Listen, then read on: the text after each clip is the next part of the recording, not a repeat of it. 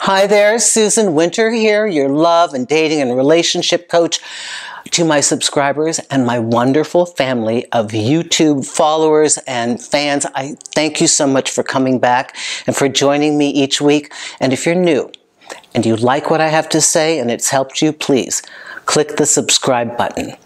Today's discussion is all about when you were so close and you really felt like it was going forward and suddenly they just ended. And you're left wondering, was it all an act? Am I delusional? Did I start to imagine this in my mind? How do you go from here to nothing? Okay, so as you know, I take your questions. SusanWinter.net is the last page.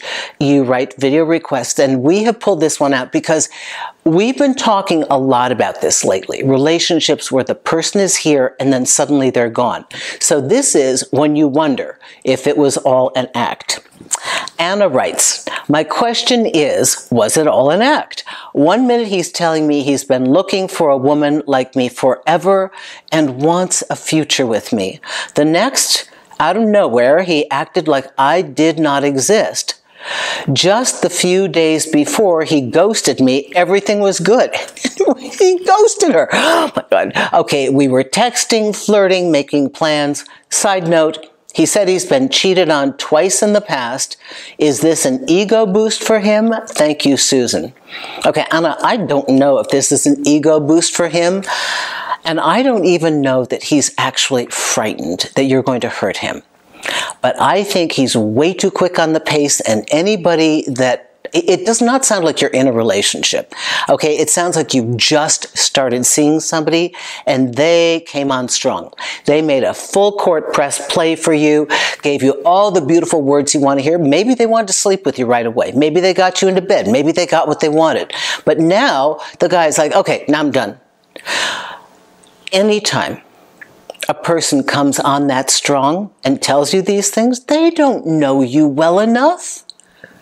If they tell you this after a month of dating and they reveal it sincerely and maybe with a little bit of discomfort for being so vulnerable, that's a different story.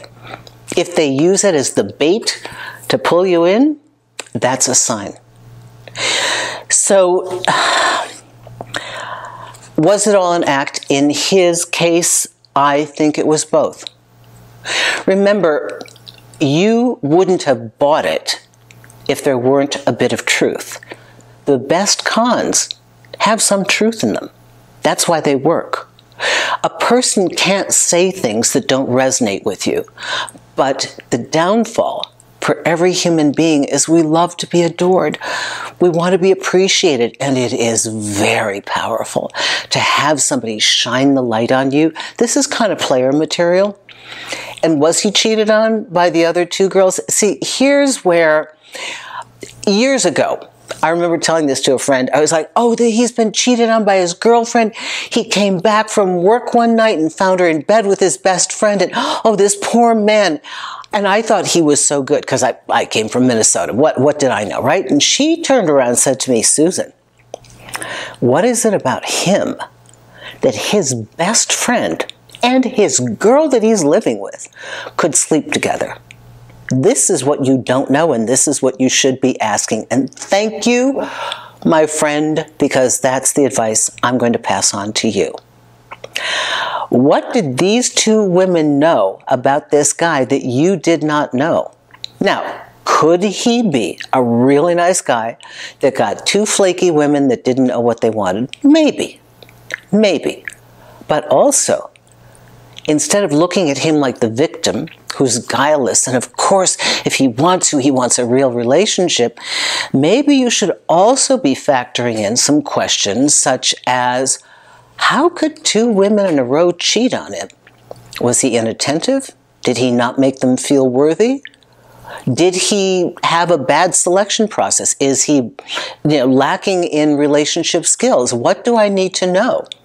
So this is simply to balance your questions, and it's not to make anybody who has been cheated on feel as though that is not a violation. It is.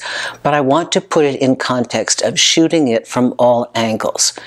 I don't think it was an act. I think it was real in the moment. The ghosting, you better keep walking the other way. I don't care what the reason is.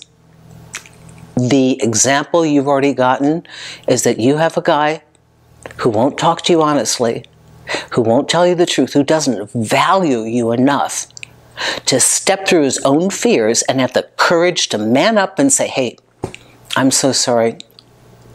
I think I went too fast and I am simply not ready. Not just for you, for anybody. I am really sorry.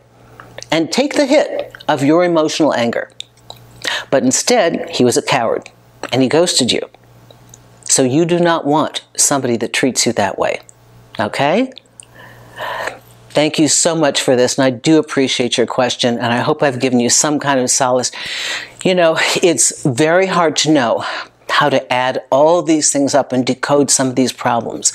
So I hope you keep coming back and listening, and I hope that you have some information that's helped you. If you want to sign up for my newsletter, it's at susanwinter.net, the homepage. If you want a consultation, that's the consultation page. And if you want to write me with your question, go to the last page that says contact. Underneath the media, there is a box that says video requests, and put your question there, and we'll get to it. Thanks a lot, Susan Winter for SusanWinter.net.